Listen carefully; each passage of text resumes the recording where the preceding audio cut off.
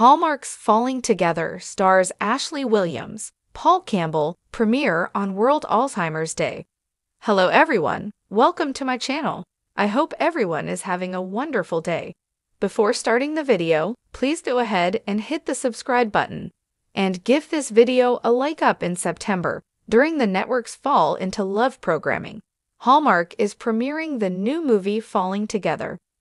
This stars Ashley Williams and Paul Campbell.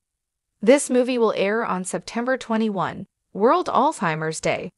A woman seeking community in a new city finds purpose and belonging through the walk to end Alzheimer's.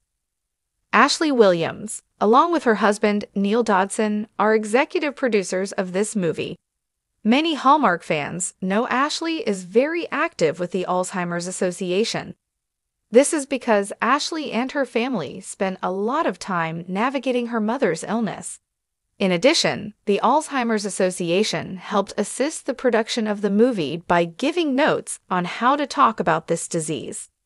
The Alzheimer's Association also provided gear for the movie to ensure the event's joy, color, and authenticity. In addition, the Falling Together fashion and accessories will be available for purchase on an online auction. All the proceeds will go to the Alzheimer's Association. Here is more about this very important movie event. On Wednesday, the Futon Critic shared a press release about the new Hallmark movie Falling Together. This is what this movie is about. Natalie has just moved to Pittsburgh. Moreover, with this relocation, she is determined to embrace this move. While exploring ways to participate in the community, she volunteers for the Walk to End Alzheimer's. At her new building, Natalie meets the residents and encourages everyone to join her on this day. However, Mark, the prickly super, thinks she is overstepping her boundaries. She and Mark soon spend more time together. Most of all, sparks are flying. Is she falling for the grumpy super? You betcha. Adding to her love high is that many of her new neighbors also want to participate in this walk.